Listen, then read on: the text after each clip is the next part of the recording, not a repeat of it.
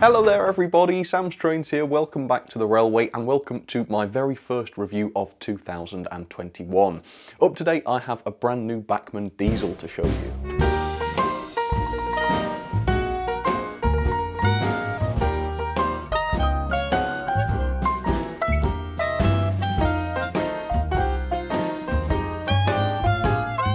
Say this is a new diesel, it was actually announced quite a while ago back in 2010.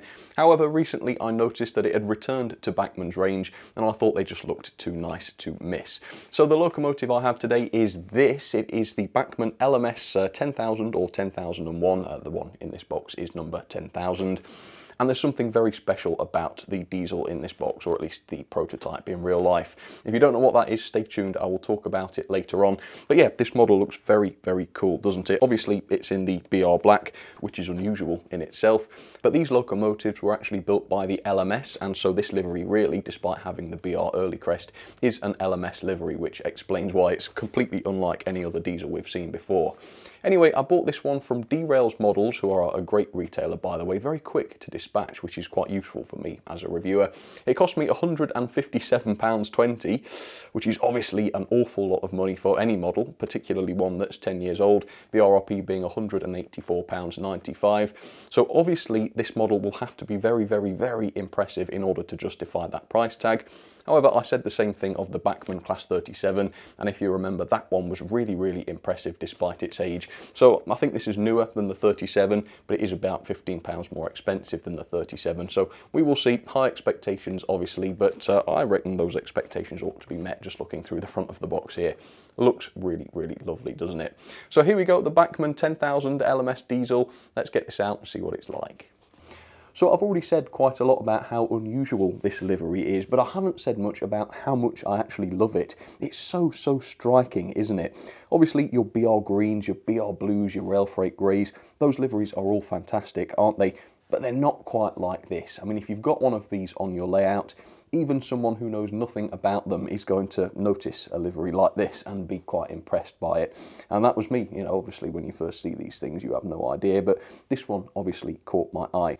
Let me show you the end of the box then. So this is the version I have, it's 31-999. It is the LMS 10000 in the BR black and chrome early emblem, and it does accept a 21 pin DCC decoder, which is pretty cool. That's obviously quite standard. Let me flip the box over and show you the brief history. So there you go. If you want to pause and read that, feel free to, although I will give you a bit of information on these logos and what makes them so special a little bit later on. There's only two of them, by the way. That's why they're both specified on the front of the box, both running numbers. Uh, that's unusual. You don't see that very often. Right, come on then. I've not actually had this out of the box at all so far, so this will be the first time. Sorry, I've just giggled slightly because uh, it triggered my OCD being slightly to the right-hand side of the box.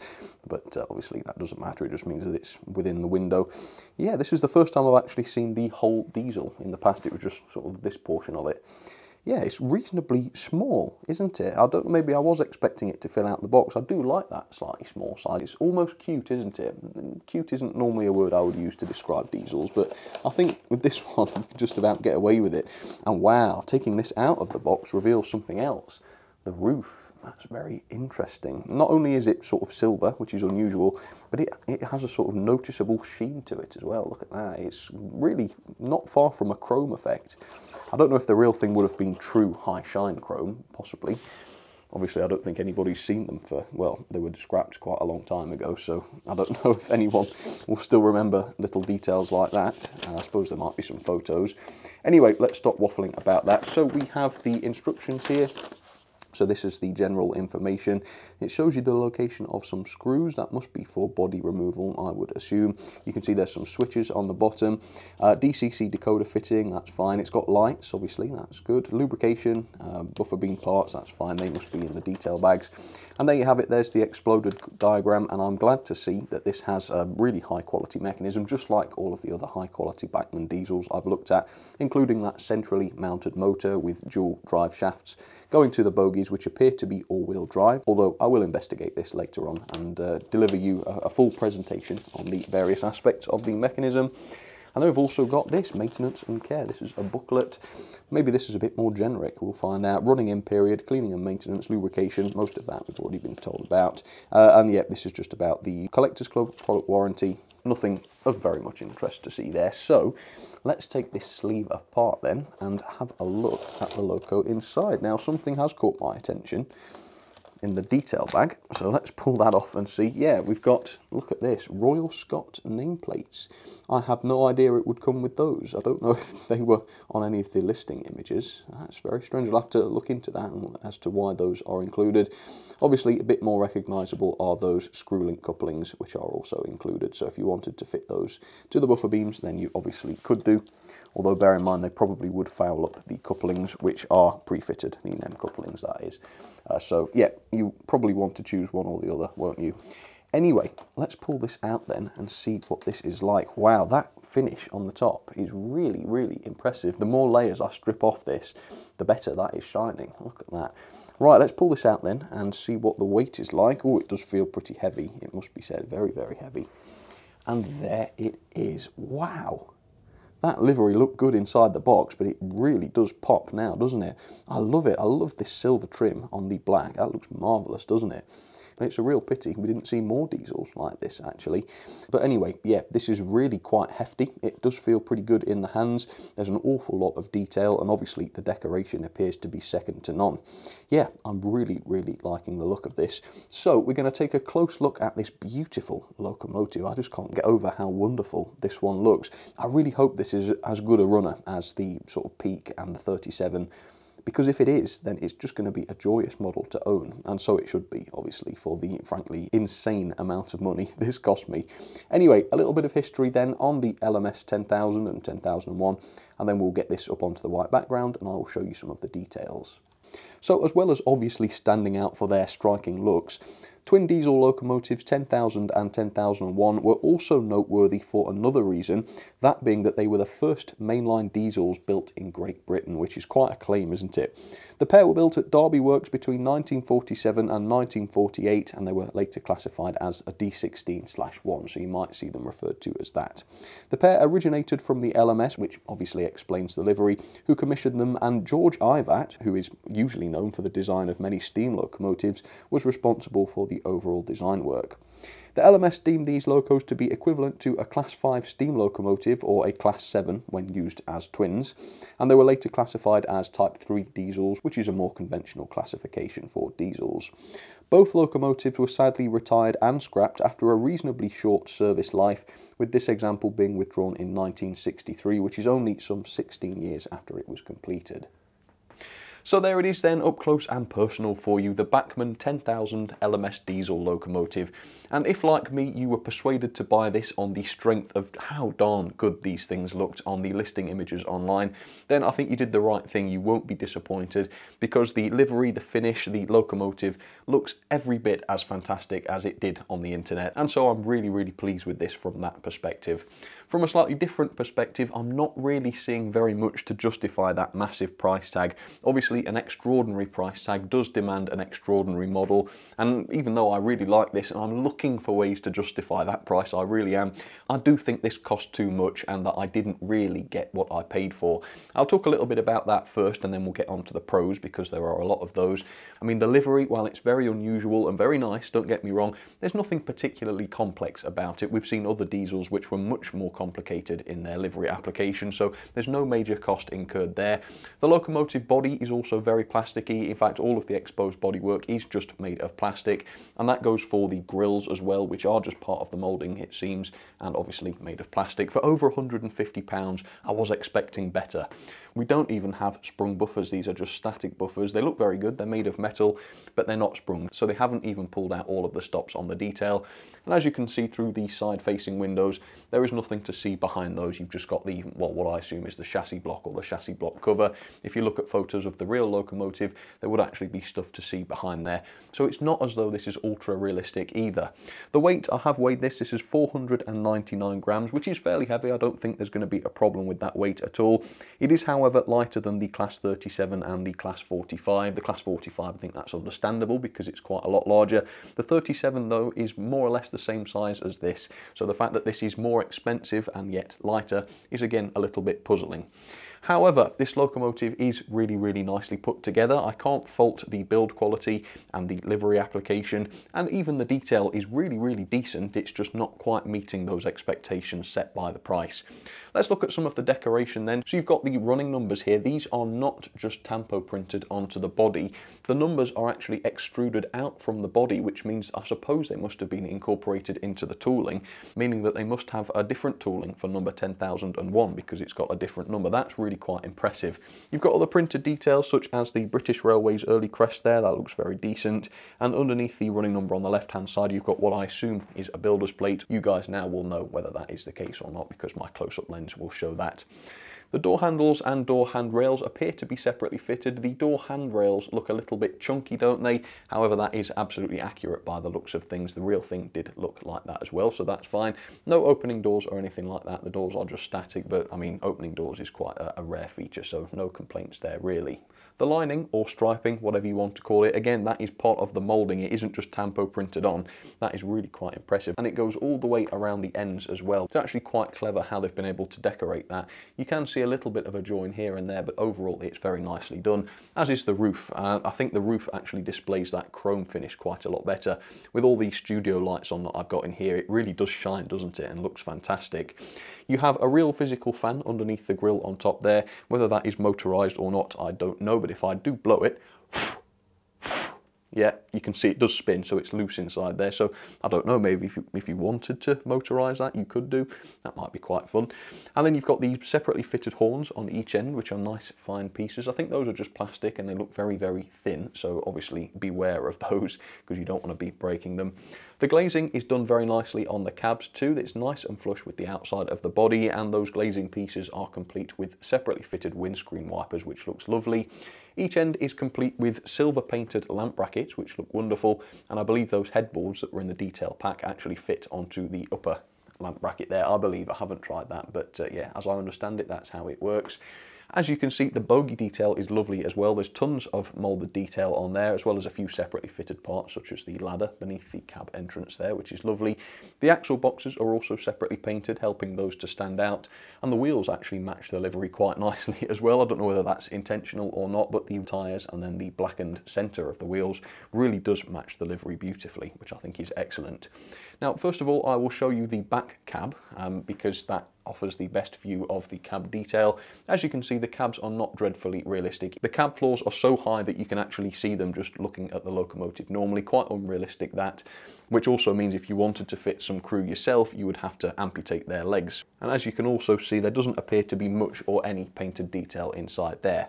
However, the issue of crew isn't too important because on the other end, as you can see, we do have some figures pre-fitted inside the model, which is wonderful. Bachmann do seem to do this quite often, and I love that. They're also painted, as you can tell, which help them to stand out. And yes, we do have two of them, not just one, as was the case on the 37, I believe. And while the presence of crew doesn't quite excuse the cabs from being quite unrealistic, they are the kind of feature that would help to justify such a mighty price tag, even though the number of impressive features like that are relatively minimum on this loco. Anyway, very quickly, let me show you the underframe. Most of the details here are just a part of the moulding, which again just makes the model look that little bit less realistic. However, on the very underframe, you can see that there are some separately fitted parts there, and they do look a bit more realistic, don't they? Overall, the level of detail is not too bad, is it? If this would have cost me maybe 30 to 50 pounds less, maybe I would be much more complimentary about this model. However, just, you know, 157 pounds when you start thinking about some of the other models you can buy for that money or less, this doesn't look so great on the value for money standpoint. However, quality seems absolutely fine. It's heavy, it's well built, I can't see any glue marks, the livery is applied nice and tidily. Yeah, if you really want an LMS 10,000 or 10,001 locomotive, these are not a bad shout at all. They look wonderful and I have to admit, I love it. I really do like this one. So I'm going to look at the mechanism, I'll feed back to you on that and once we've done that I'll get it down onto the track and we will give it its first ever test. So there it is then, one of Britain's very first diesel locomotives down onto the track, ready to run. And you know what? The mechanism is actually pretty decent. Let me show you around. So first of all, if I flip the loco upside down, you can see we do have proper bearings on every single axle, which is fantastic. Turned metal bearings, very, very good. The slight downside to that is that those bearings also do the pickups. You can see there is like a, brass piece which connects all of those together. And I'm not a fan of that for two reasons really. First of all, they get dirty faster, and of course they do because uh, they're removing electrical contact. And obviously dirty bearings produce more friction, meaning that this will need to be serviced more often than a locomotive that has traditional wiper pickups. The other reason is that there's a good chance your choice of lubricant will be unsuitable here. Me, for example, I use light sewing machine oil, um, which is not conductive. So if you put that on these axles to lubricate them, you will hinder the electrical connection, which again will produce more dirt, which means at best the loco will need servicing more often, or at worst it would start hindering the performance. So that's not fantastic. That's made even worse by the fact that the middle wheels on each bogie do not pick up. It's only the outer wheels, which means that only two thirds of this locomotive's wheels do some picking up, which for over 150 pounds and in this day and age isn't very good, I don't think. I think that needed to be improved on this latest release. Every single axle is driven though, so that's very, very good. We have got all six axles doing driving, which is very good. Body removal was a little bit convoluted because there were eight screws holding the body on. I think that's a bit over the top as well. It's unnecessary expense and it just makes disassembly a bit of a headache. However, once you get the body off, you can see we do have a very nice heavy metal chassis block, which contributes a lot of the weight. You've got that fairly chunky centrally mounted motor. I'm not certain whether or not that is a three or a five pole motor, so I guess they will get the benefit of the doubt there. However, usually the performance does the talking on that, so we'll see. The wiring is so neat and tidy. Look, there's not a wire in sight on top of the circuit board. It's really, really neat. And you've got these spring-loaded copper contacts which do all of the lights and everything. That's really, really good, isn't it? So neat and tidy. There is the 21-pin decoder socket. I don't think you'll have any trouble fitting a decoder into this because there's no wires in the way to faff around with, so that's great. And you've even got the facility to fit a speaker if you want to, and yes, there are contacts for that as well. So the mechanism looks really, really good in my opinion. Um, not perfect. I think the pickups should have been better really, but overall it's really quite impressive. Now then, let's get this thing running and see how it goes. Now, this has not been running yet. We will have to run this in properly for a good 30 minutes in each direction before I can give a sort of verdict on the performance. But straight out of the box, this is how mine behaves, so this is what you can expect as well. Here we go, set it to forwards, and let's turn her up. Hoping for good results here. Okay, I thought I saw a twitch there. Oh, yeah. Okay, it's going. It's jumping a little bit. Are all the wheels on the track properly? I think they are. Has it got square wheels? No, it might just be going over the points actually that's doing that. It's not too bad. Okay, so the performance looks really, really good and smooth straight out of the box. I'm very pleased and impressed with that. I've also noticed that the lights appear to be working. We've got cab lights and they're sort of warm white slash orange. I'd say they're more orange than warm white and they do illuminate the cabs and also the crew as you can see, which is great. And then on each end you've got the head and tail lights. The headlights again are orange, but the tail lights as you can see are a nice bright red and they are quite nice and bright these. Even in a brightly lit room like this one, they're noticeable, which is really good and that goes for the cab lights as well. Yeah, you know what? That is really decent, isn't it? It's not stuttering on the points or anything, and that's to be expected. Yes, it hasn't got all-wheel pickup, but it's got enough so that it shouldn't be stopping on points. So that's really nice. Let's go at 50% speed. There we go, that's 50% speed. I don't know if this has got flywheels fitted, because it does stop dead. I'll have to check the diagram, actually, to see whether it has. Yep, there's the diagram. The flywheels are definitely shown on there, aren't they? So it's a bit strange that the performance doesn't reflect that, although perhaps once the mechanisms had chance to loosen up, that will improve a little bit. We'll have to wait and see. But let's bring this back and try a bit of a crawl, shall we? Let's see how that goes.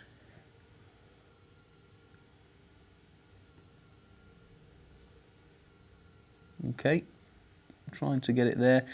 So at the moment, I don't think that is performing quite as smoothly as that Class 37 from Bachmann was, straight out of the box. Um, I'm not going to say that for certain until this is running properly, but straight out of the box I would say we have seen better because that is a little bit inconsistent, isn't it? However, at the higher speeds, obviously that is more than smooth, isn't it? Yeah, I really like that. Right, well, let's get this running then. We will see how it handles the layout, see if it handles curves all right, see if it does any slowing down, see if it slows down on Gordon's Hill, etc., etc. And then after it's done about 25 to 30 minutes in each direction, I will check back in with you and we can try the slow speed and everything else once the loco has run in. So here we go, 50% speed. Let's see how it gets on. All right. So this one's not dreadfully speedy. I didn't see any particular slowing down on that second radius curve. That suggests then that the loco itself has been geared to run reasonably slowly, which is quite interesting because the slow speed wasn't outstandingly great, was it? And usually when a loco's been geared to run a bit slower, you do tend to see better slow speed performances. However, maybe I'm jumping the gun a little bit. After it's running, then I think we can make a, a, firmer conclusion on that. But for now, it seems to be running very, very nicely. It's not derailing, it's not noticeably inconsistent in its speed. So, as far as performance goes, it's looking quite promising, isn't it? So I'll be back as promised. See you in a second. Okay folks, there we go. Running in has completed with no major issues, I'm pleased to say. The thing ran absolutely perfectly, no derailments, no stalling, no cutting out. Very, very good indeed. I have noticed one alarming issue though, and that is a almost complete lack of torque in this mechanism. It's probably one of the worst I've seen for this. Let me show you. So I'm going to back it out of shot. Then I'm going to send it forwards again at 50% speed, but I'm going to put my finger in the way to stop the loco moving along. Watch what happens. There we go. Uh, I'm not going to do this for long, but if I show you a close-up on the wheels, you can see they are stopped dead. Look at that, they're not turning at all. The Loco hasn't even got enough torque to spin the wheels while the Loco is stuck. Now that is not normal. If I show you the Bachmann Class 37, I'll do the exact same thing. You can see the wheels are moving very, very easily. And that is a major problem on a model like that. Well, it's a major problem on any model manufacturers must choose motors that are powerful enough to spin the wheels of the locomotive even when it's stationary. That is so important because if a modeler overloads a locomotive with too many coaches, it's important that that motor doesn't stall. And let's say something derails or something else goes wrong. It's important that even if the loco is brought to a stop, the motor is still allowed to spin because a stalled motor draws so much more current than a moving motor because of the lack of back EMF, which means that after a very short short period of being stored like that, they're going to be burning out, they're going to be getting too hot. It's just really, really silly. I can't understand why they wouldn't choose a more powerful motor for a loco like this. And it does show through on the pulling power. I measured a tractive effort of 0.59 newtons, which is way below that class 37. I measured one newton on that class 37, which means that while the 37 could manage 55 coaches, this thing can only do 37 coaches. And bear in mind that the more coaches you add, you're not going to start getting wheel slip. The motor is going to start running slower and slower and slower until it just can't move the coaches at all. And that is going to damage motors. That is really silly. It is going to lose points for that because there's just no excuse for it on a model this expensive. Anyway, as you can see, I've set up some LMS coaches. There aren't too many noticed. There's only seven there because I really don't want to be stressing this motor out now that I know that there's no damn torque in the thing. So let's try the slow speed again before I go and couple to the coaches. Let's see how that is. Has it improved at all? Because it wasn't particularly good.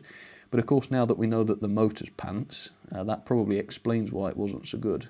Well, not so smooth anyway. Yeah, it's exactly the same. It's very, very slow, but it inches forwards rather than in a single smooth motion. So there we go, yeah, you can see that that is just inching there. Let's turn it up a little bit. Can it do better? No, even at that speed it's inching. See, see the difference? If you go and watch the Class 37 video after this, the performance is totally different, and yet the mechanisms are very, very similar. It just seems to be that the motors perform differently, they behave differently. I haven't looked at the motors side by side, but just working from memory, I'm pretty sure the 37 had a much larger motor than this one. It didn't look so beefy in this. Could be wrong though, could be wrong. Anyway, yeah, so the slow speed's not fantastic, even having been run in. It's not bad, don't get me wrong, that's more than usable. But um, yeah, a good slow speed demonstrates a good quality mechanism. And uh, yeah, the slow speed of this model is betraying that slightly shoddy motor a bit, isn't it? Anyway, let's go and couple to the coaches then. Let's see if she can manage seven of them. I should hope so. Okay, steadily does it. Is the coupling hook at the right height? Sounded good. Yes, of course it is. There we go. So Bachmann have got the basics right. well, except for the motor, I suppose. Besides that, yeah, the basics are correct. And it works well, it must be said. The performance isn't terrible, don't get me wrong. There you go. Perhaps there's also some sort of friction in the mechanism as well, because if I just cut it off, you can see it stops dead. That's quite unusual for a loco that has two very large flywheels inside it. So yeah, something not quite right in the design of this one, I'm afraid. Anyway, on the middle line, today's theme, by the way, is going to be Bachmann diesel, so see which others you can spot, and there is an odd one out. This is a much better quality one, in terms of mechanism at least. That is the 45, mentioned that a couple of times today. Very decent run of that one. There you go, with some coaches. And then on the inside line, uh, one of my favourite Bachmann diesels, it is of course the Class 37. I've talked about this one quite a lot. This one is so much better in terms of performance. It's like the model performer, actually. It's incredibly good. Uh, if every loco ran like that one, I might as well get rid of my performance category because it would not be needed. But yeah, there we go. Let's catch up with the 10,000 then and see how it handles those curves and Gordon's Hill. Okay, here it comes. We're looking out for any slowing down. Okay, so no, not really. I would say it is a little bit slower. That's probably because of the incline. But uh, on the second radius curve, it was fine. And I did check the gauging, by the way, and the gauging was absolutely fine. That's with seven coaches. I wouldn't really risk many more than that, to be perfectly honest with you, just to be on the safe side. And uh, just in case you were thinking it, no, adding weight or bullfrog snot to the wheels or something, that would not help. In fact, that would make the problem even worse. It is a torque issue, not a wheel slip issue.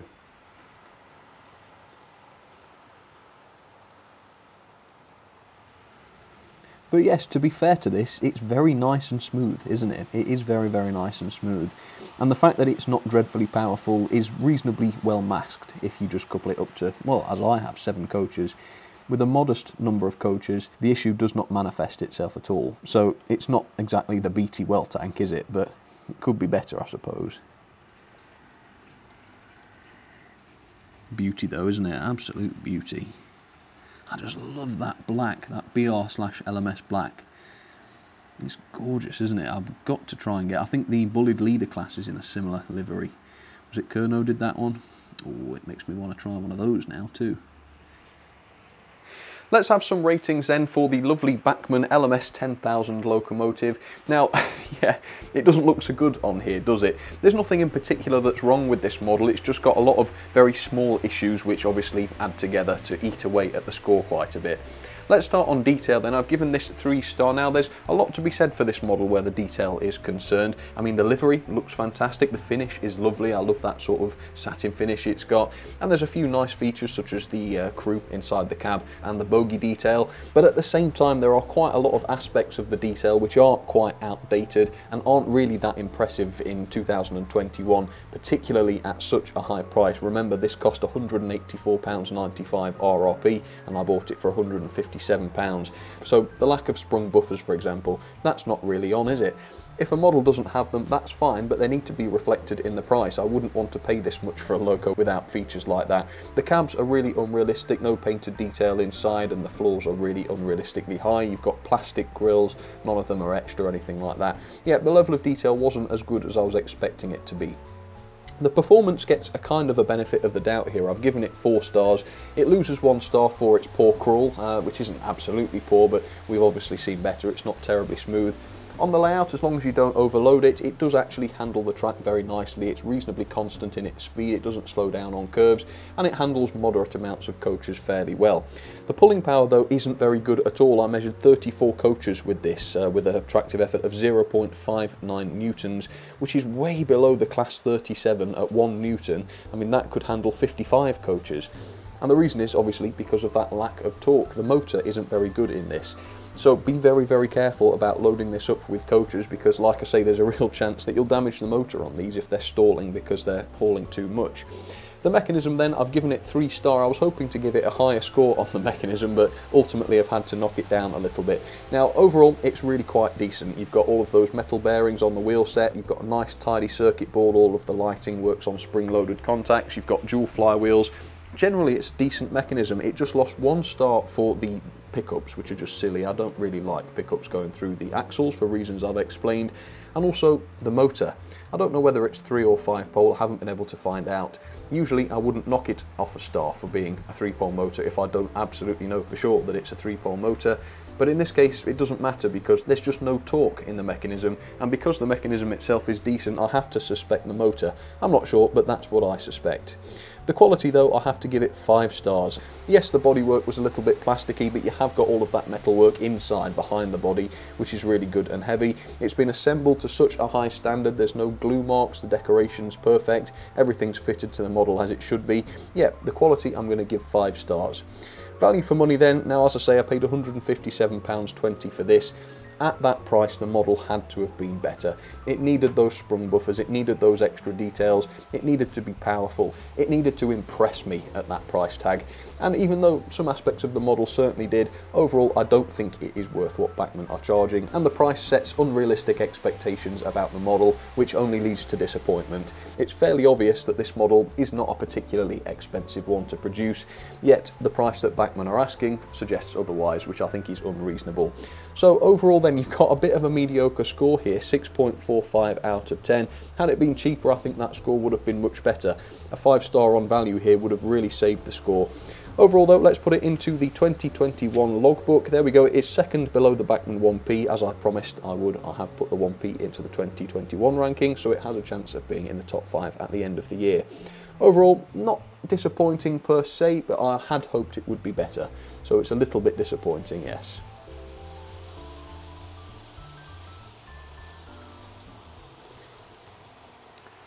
I am very pleased with this overall. Yeah, don't get me wrong, I'm glad I bought it. But it's got the same old Bachmann problem, hasn't it? They've obviously got uh, too high an opinion of their own models because while I'm very happy with it, there's no way it was worth what I paid for it. And that price tag is ludicrous, isn't it, really? It needed to be much, much better than it was in order to justify that. But as it is, yeah, it's a great looking loco, runs reasonably well. The detail is okay, isn't it? It's okay. That's the summary, really. It's okay. If you really want one of these and you can find one, because Bachmann haven't made many, but if you can find one at a reasonable price, then sure, go ahead, as long as you know the pros and cons. You can do much worse than one of these.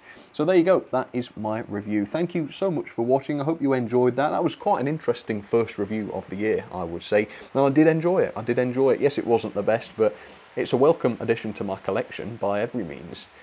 Very, very nice. Right, well, thanks for watching, folks. I will see you very, very soon for another review. For now, though, thanks again for watching, and I will see you very soon. All right, cheers, folks.